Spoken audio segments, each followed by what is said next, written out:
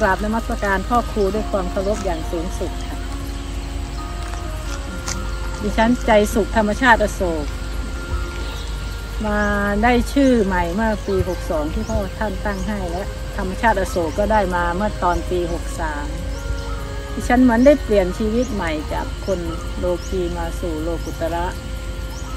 ด้วยคำสอนของพ่อท่านที่ได้ดิฉันได้ติดตามมาตั้งแต่ปี 2545 จากความที่จากโลกโลกีที่ได้เคยทั้งมีอบายมุขดิฉันได้ฟังพ่อครูดิฉันก็ได้ลดละมาเรื่อยๆ และเมื่อได้ตัดสินใจมาอยู่ที่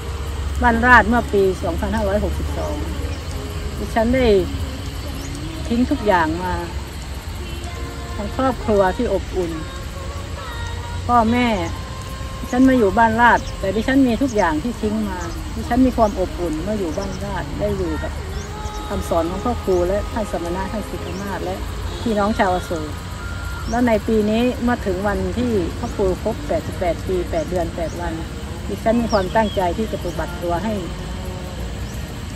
ลดละกิเลสเพิ่มขึ้นจากที่ว่าเหมือนสบายสบายจากการ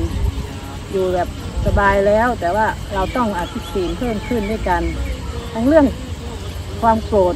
ความโลภความหลงจะทำให้ลดน้อยลงยิ่งขึ้น และตั้งใจจะติดตามพ่อครูไปทุกภพทุกชาติ ขอน้อมปฏิบัติบูชาอย่างสุดเสียงสุดก้า มีแต่คนที่เอาแค่